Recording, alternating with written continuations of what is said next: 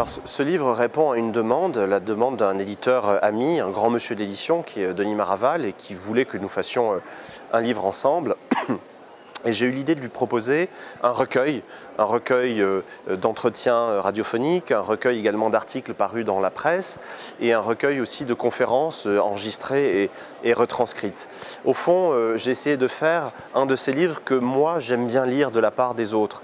lorsque des collègues historiens, lorsque des intellectuels ramassent leurs pensées de manière concise, précise et tentent de la mettre à disposition du plus large public, ce sont des livres que j'aime beaucoup lire, les livres d'entretien euh, euh, notamment.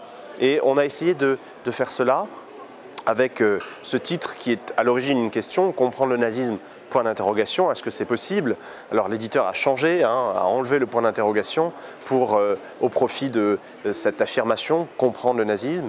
de fait, c'est une voie historiographique que j'emprunte depuis maintenant euh, presque deux décennies, avec d'autres hein, euh, euh, qui essayent également de se confronter à ce, phénomène-là, pour essayer non pas de l'appréhender de l'extérieur, de manière froide et, distante, mais pour essayer d'épouser au plus près le ressenti et le vécu des acteurs, l'expérience des acteurs. Et c'est ce, cette, cette démarche-là que j'essaie de développer à longueur de travaux historiques, mais également dans ce livre qui se veut euh, une synthèse un peu ramassée euh, des euh, grandes tendances historiographiques ou des grands acquis historiographiques autour de cette question.